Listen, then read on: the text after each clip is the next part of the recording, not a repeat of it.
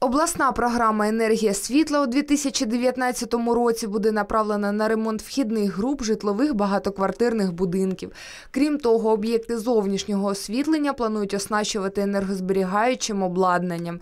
Як повідомили в обладміністрації, велику увагу приділятимуть зменшенню травматизму населення в умовах поганої видимості та в нічний час. На поточний 2019 рік передбачено виділення коштів в розмірі 50 мільйонів гривень з обласного бюджету та 5 мільйонів гривень це за рахунок е, субвенції та фінансування з місцевих бюджетів.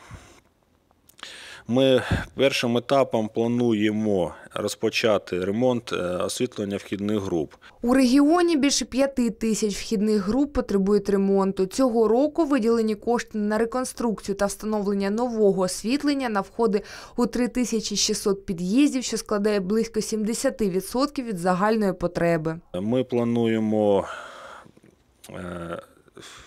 е, на ближайший час розпочати проведення тендерних процедур. Ще раз наголошую, всі роботи, всі об'єкти будуть виключно проводитися через закупку услуг та матеріалів через систему Прозора. От, і до кінця лютого, початку березня плануємо розпочати роботи. На реалізацію програми Енергія світла на 2019-2021 роки виділили 198 мільйонів гривень.